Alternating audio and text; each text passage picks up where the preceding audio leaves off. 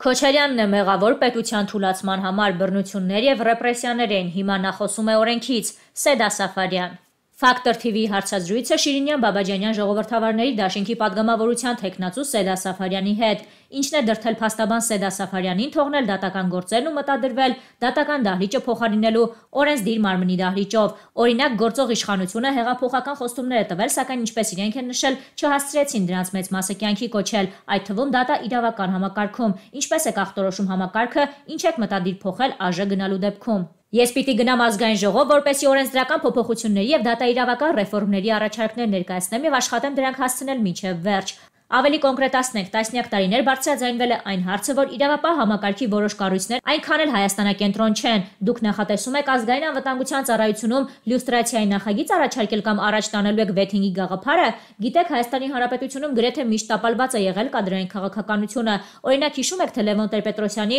ուժն ինչպես եկավ իշխանության, փողոցով, աղմուկով, բայց հետո երբ իշխանություն կազմեցին, տեսանք ժողովրդի սպասվածը չէր։ Այդտեղ էլ ենք թուլություն տեսել։ Հաջորդ իշխանավորը եղել է Ռոբերտ Քոչարյանը, որի իշխանությունը պետությունը մեկ բառով կարելի է որպես բռնապետություն բնորոշել։ Ակնհայտորեն նահանջեց ժողովրդավարությունը եւ պետության դեմ շատ հանցագործություններ կատարվեցին։ Պետության թուլացման մեղավոր համարում եմ նրա իշխանությանը։ Չեմ անդրադառնում, թե որ դրվագները նկատի ունեմ, բայց առերևույթ թվաց, թե իրեն հաջողվում է բռի մեջ պահել հասարակությանը, կառավարման ապարատը, բայց բռի մեջ պահել ժողովրդավարության, շատերի մահվան եւ կյանքերի հաշվին։ Այդպիսի իշխանություն ոչ մեկի պետք չէր։ Սերժ Սարգսյանի իշխանությունը շարունակեց Ռոբերտ Քոչարյանի վարկագիծը եւ երկիրը ձևավորվեց ֆեոդալական հասարակարգի նման։ Երկիրը կառավարվում էր օլիգարխիկ համակարգը։ Երկիրը կառավարում էր օլիգարխիկ համակարգը եւ մենք գիտենք, որը ուն տարածքն է։ Թվում էր, թե Նիկոլ Փաշինյանի իշխանությունը բերելու է ժողովրդի հույսն ու հավատը արդարացնող համակարգին հատուկ պահվածք, բայց տեսանք Նիկոլ Փաշինյանի եւ նրա իշխանության առաջարկած մեխանիզմները, նրանց իրականացրած կադրային քաղաքականությունը ցույց տվեցին, որ նրանք անզոր են ոչ միայն նախկին իշխանությունների դեմն առնելու, այլև համակարգերում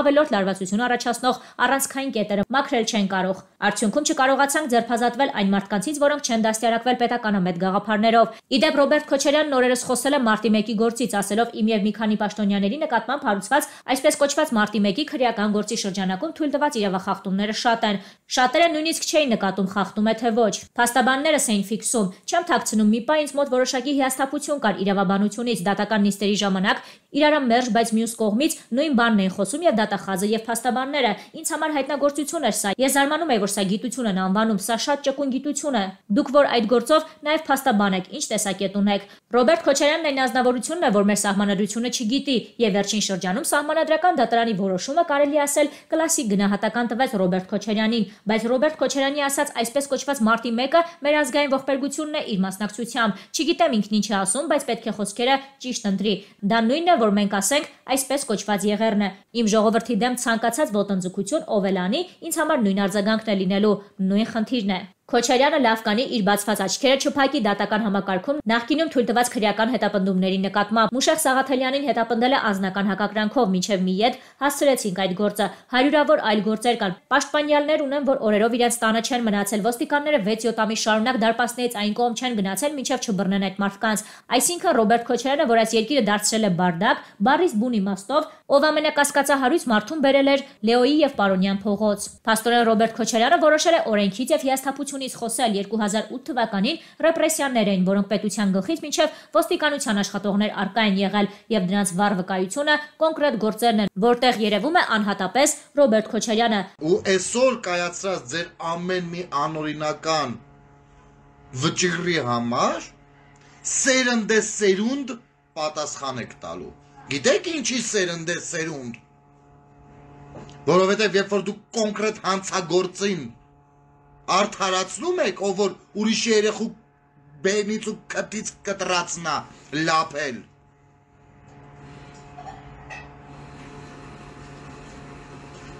Այդ դրա համար եկած կաշառքները չեն հասնելու ձեր երեխեքի ոչ կտին,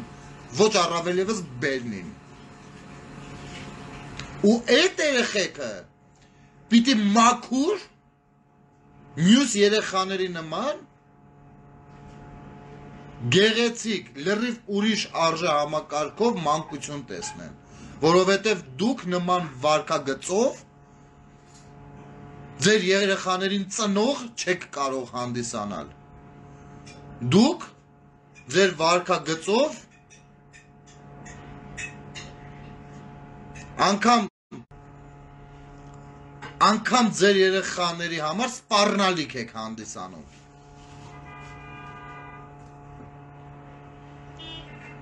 Մեզ ընթացքում խնդրում եմ մի զանգեք ժողովուրդ ջան, դե ո՞ց բացատրեմ։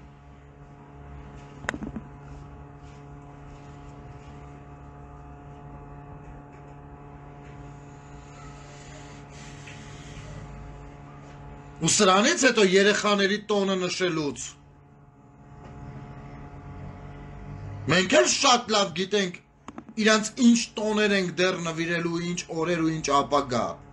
Ու դուք էլ լավ իմացեք, որ բարոյած զրկված ապրելու եք։ Ամբողջ ձեր կյանքում։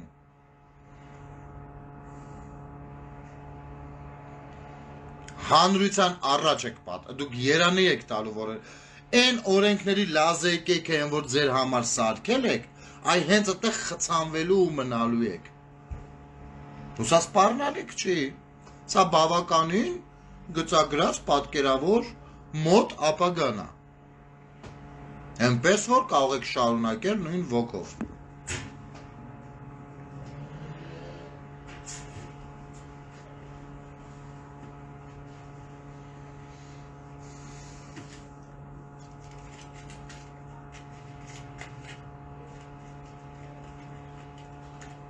Եկել են երեխեքին աչքերին նայելով իրանք ինչ են անում։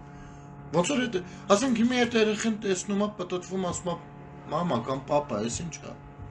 Ինչ ասի, ասի, բալես դե ընդ քո համար զոհվածի հարազատն է, բարեկամն է։ Դու որ հիմա այստեղ ուրախանում ես,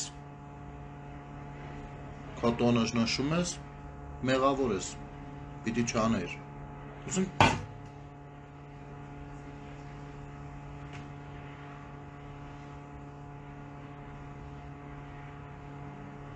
չի ստացվում։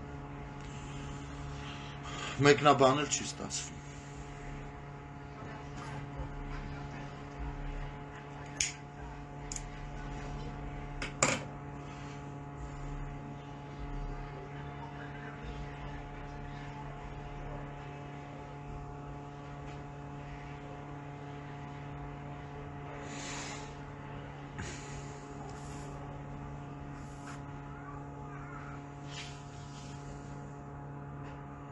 Այս ծրագրի մասին ժողովուրդ ջան, ես ձեզ մանրամասն հունիսի 21-ին կամ 22-ին եմ ներկայացնելու։ Ավելի մանրամասն թե ինչ համակարգով է դա աշխատելու։ Շատ հնարավոր է, որ ես ինքս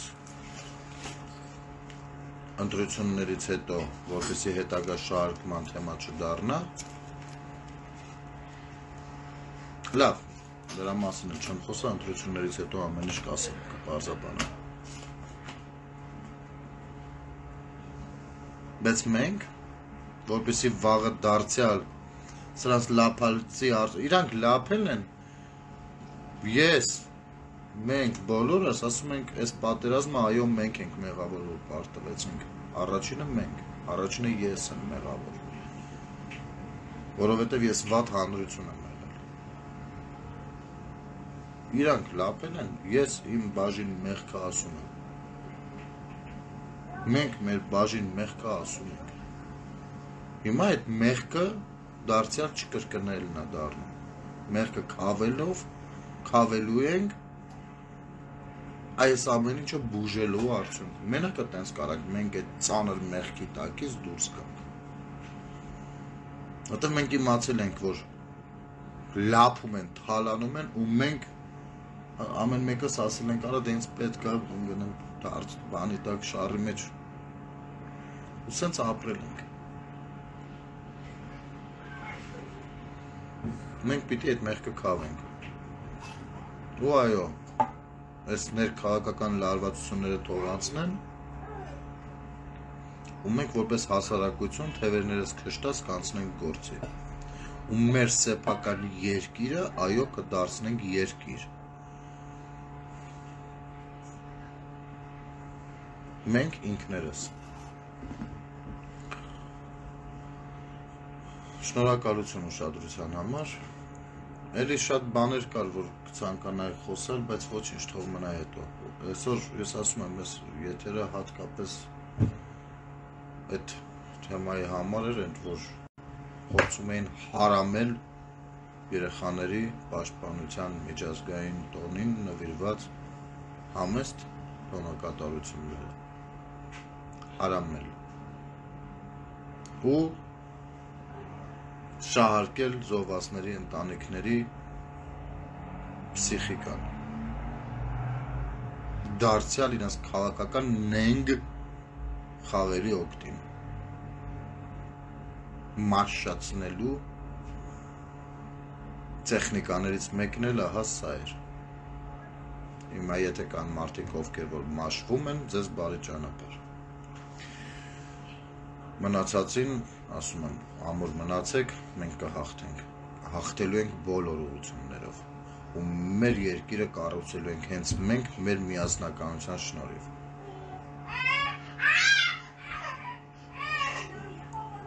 Ստեսություն լավ մնացեք